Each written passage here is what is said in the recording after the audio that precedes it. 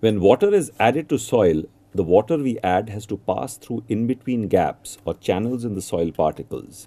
The speed at which water flows through the column of soil is known as percolation rate, and percolation of water depends on the particle size of the given soil sample. Let us see. For this, we need three funnels having a cotton plug at the end, conical flasks, 20 grams each of sand, loamy soil, clay, and three beakers with 50 milliliters of colored water.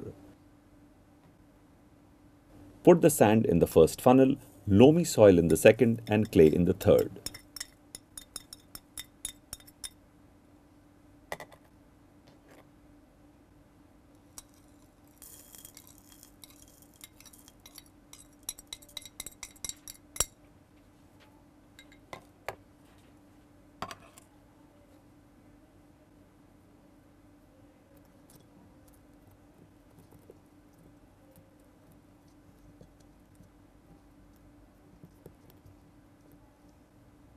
Now pour the colored water slowly over each type of soil.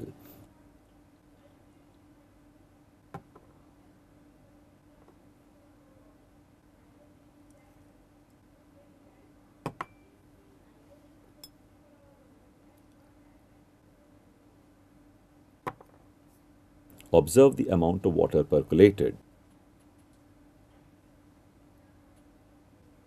After some time, pour out the water which seeps through the funnel.